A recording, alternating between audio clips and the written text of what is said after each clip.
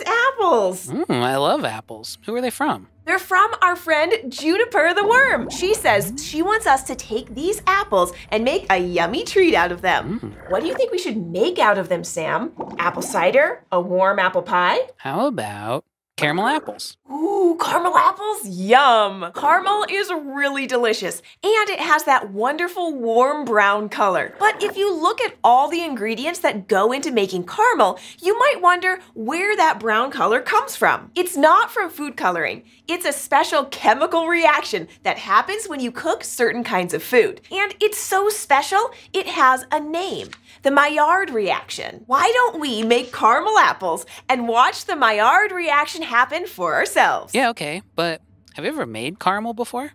Well, no. To be honest, I've never made caramel before, but you know what? Cooking is kind of like science. Sometimes you have to get in and experiment to learn something. In fact, there are actual food scientists whose whole job it is to experiment with ingredients and figure out how to combine them to create delicious meals and treats. The scientist who described the Maillard reaction was named Dr. Louis Camille Maillard, and he showed that you need just three ingredients for it to happen. First, you need two different kinds of chemicals you can find in food proteins and sugars. But what about the third ingredient? Hmm, uh, I don't know. Ooh, it's heat. Mm. Heat is a very important ingredient in a lot of chemical reactions. And sometimes it might look like it's doing a little bit of magic, like transforming ice into water or yummy bread into even yummier toast. If we just dumped a bunch of protein and sugar into a bowl and set it on the counter, nothing would happen. But if we add heat, those tiny little bits of protein and sugar can react with each other and become something new. Something golden brown and perfect for coating our apples with. And that is the Maillard reaction in action. There are lots of foods that turn brown when you cook them. Uh, is that the Maillard reaction too? Ooh, yeah, that's right. The Maillard reaction can happen in lots of different foods, from caramel to big juicy pieces of barbecued meat. All right, I'm convinced. Let's see it in action.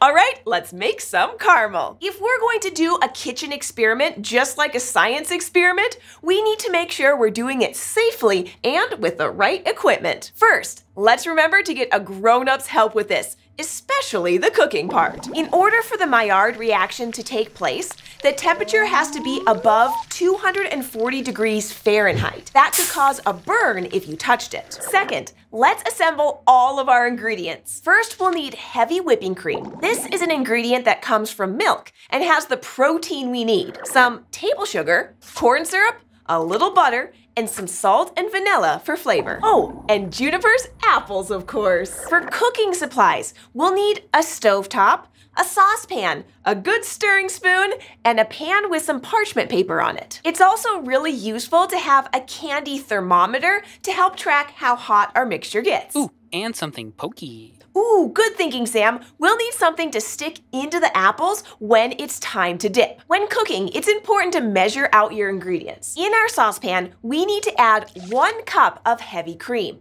one cup of sugar, one half cup of corn syrup, and 1 4th teaspoon of salt. Have your grown up slowly heat the mixture over the stove and stir it gently. Once the sugar has dissolved, meaning you can't see it anymore, add the butter. And keep mixing. As soon as it starts to boil, stop stirring. Why? Oh, well, remember when we made rock candy? Mm-hmm.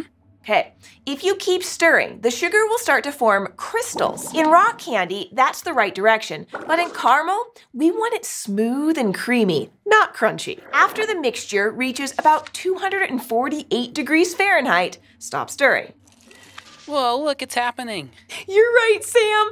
The proteins and sugars are reacting because of the heat. Our caramel is turning brown. Now we can add the vanilla and let the caramel start to cool. But if it cools down, won't it turn back into cream and sugar? Ooh, good question, Sam. It is true that some things we change with heat can be changed back. Like, you can melt a solid ice cube into liquid water and then freeze it into solid ice again. But not everything can be changed back after we heat them up. Do you think you could turn toast back into bread? Mm, if you could, I've never seen it happen. That's right. You can't untoast toast. And the same is true for caramel. When it cools down, it stays caramel, but it does get a bit thicker. After about 5 to 10 minutes of letting the caramel cool, check on it. If it looks thick enough, try dipping one of your apples into it. And if it's still too runny, let it cool for another few minutes and try again. Ooh, our caramel looks pretty good, Sam. What do you notice? Ooh, it's golden and gooey.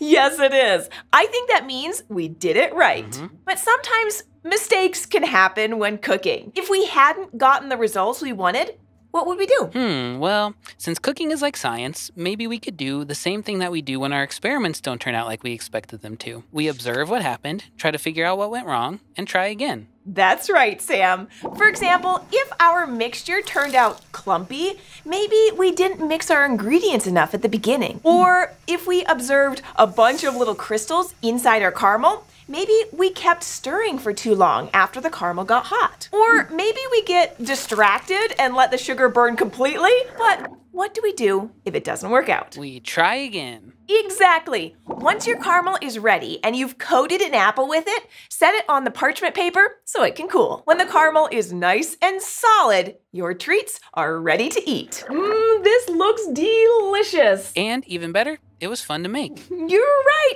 It was super fun to be a food scientist today. And I'm glad I tried making something new. If you'd like to keep experimenting with Sam and me and all of our friends, make sure to hit the subscribe button and we'll catch you next time here at the fort. See ya.